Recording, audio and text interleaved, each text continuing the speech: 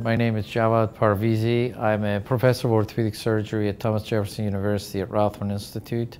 First case is a patient of my own. I did a total knee replacement on this gentleman about four years ago. He was doing fine.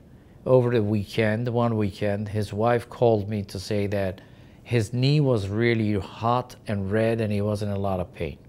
So I asked him to bring the patient to the ER. They couldn't find transport to bring the patient to Jefferson. They took the patient to another facility. The knee was aspirated and the treating physician called me and gave me results which was definitely indicative of infection. Cell count of 92,000, neutrophil differential of 85%, and obviously red hot swollen knee. Obviously, we decided to go ahead and take the uh, knee and resect it. The wife didn't want the patient to have the procedure done in the other facility, so patient got transferred to Jefferson.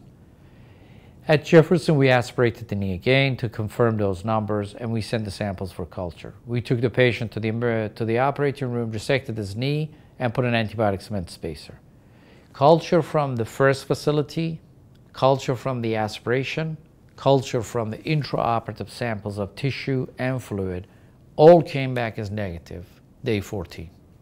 So we were completely lost as to what was causing this gentleman's infection. We sent the sample as part of the study to Pathogenius. And the results we got was 99% Streptococcus canis.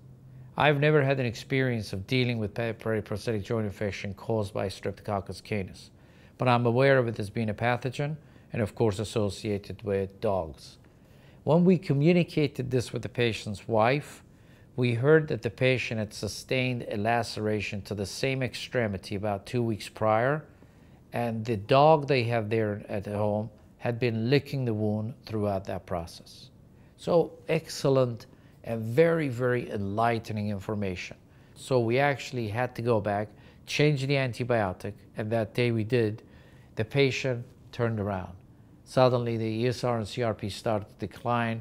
Patient did extremely well. And we also shared that information with the patient and the patient's wife. And it's amazing that they were also able to uh, observe how the patient uh, had a great progress. I really feel that the Pathogenius could give you further information that you probably are not going to be able to get from cultures.